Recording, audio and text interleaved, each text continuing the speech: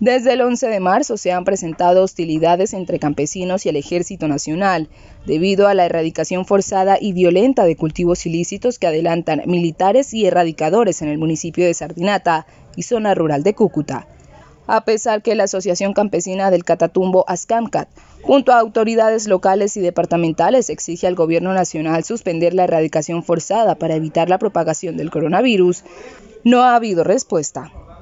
Los cultivadores de coca denuncian incumplimiento en el punto 4 del proceso de paz y el acuerdo de sustitución voluntaria firmado en septiembre de 2017 en Sardinata, al que pertenecen cerca de 5.000 familias. En medio del aislamiento social obligatorio se han presentado confrontaciones y desplazamientos intraveredales. Los campesinos de la zona han tenido roces con el Ejército Nacional y están preocupados de que estos traigan el virus al Catatumbo y denuncian estar a punto de entrar a una segunda crisis humanitaria en el Catatumbo,